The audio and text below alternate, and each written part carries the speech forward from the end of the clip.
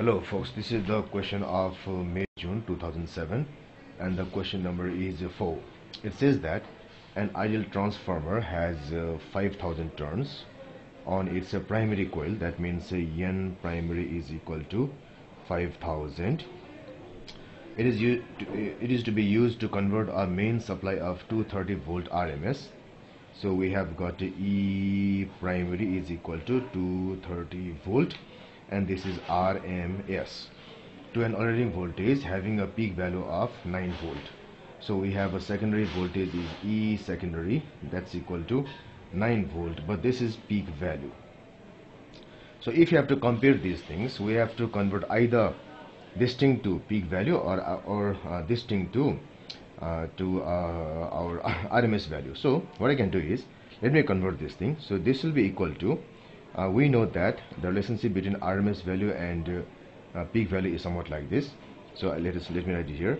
So E RMS will be equal to E peak by root 2 so that means uh, E peak is equal to or E RMS is equal to uh, something like this. So we can do it like this. So this E peak will be equal to root 2 into E RMS so this will be equal to root 2 into 230 volt and the value will be equal to so let me use uh, calculator here.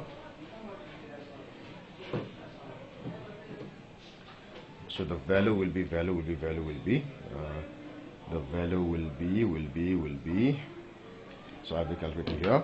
So it is it is it is uh, 2 uh, 2 uh, into into into into 230 will be equal to it is 325 volts.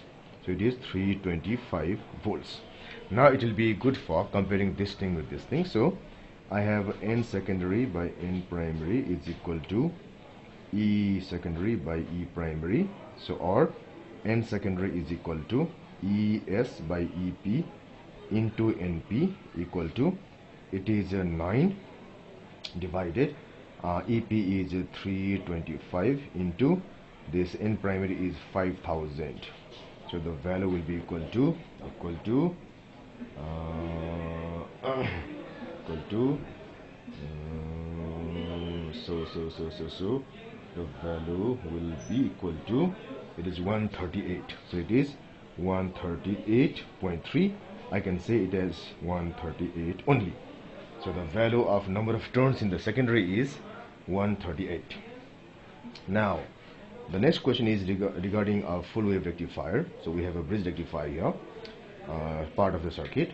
So now we have to uh, show show uh, we have to draw diode symbols to complete the diagram of a rectifier such that terminal A of the resistor R is positive. So I have to make this as positive and this as negative.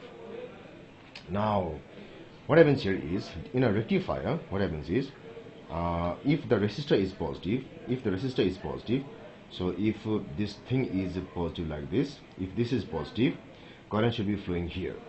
Current should be flowing here. That means here I must have I must have the N side of the diode. N side of the diode in this direction.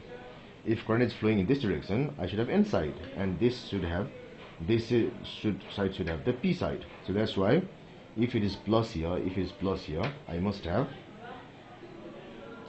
what I must have is so here I, I must have the N side of so that means N side here N side here. So it should be it should be it should be.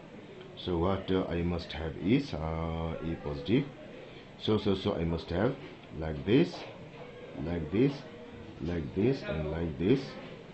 And again if I do like this so this is uh, like this like this like this like this.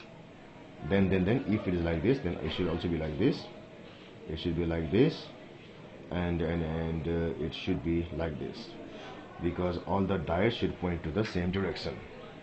So they should be pointing to the left here. So let me put the connection properly properly properly uh, properly like this. So this should be the direction of the diodes now I have to uh, in the second question I have to use a symbol for the capacitor connected to provide smoothing of the PD bit across the resistor. So if I use a capacitor then I must use the capacitor like this across the resistor. Resistor so when the charges are deposited this becomes positive and this becomes negative. So this also finished. Now in the next question what I have is what I have is figure 4.2 uh, shows the variation with time t of the smoothed PD uh, PD across the resistor. So we have a discharging here charging here discharging here charging, and so on state the interval of time during which the capacity is being charged. So we have to we have to show that time interval where it is being charged. So it's being charged here being charged here and being charged here. But here no time frame is given. Here no time frame given. Here it is given. So it is from time t1 to, to, to time t2 so charging here. Now in the second question the resistance of the resistor is doubled. So that means here uh, here I have this resistance is doubled here double here. Now what it says is on figure 4.2 sketch the variation with time t of the PD across the resistor.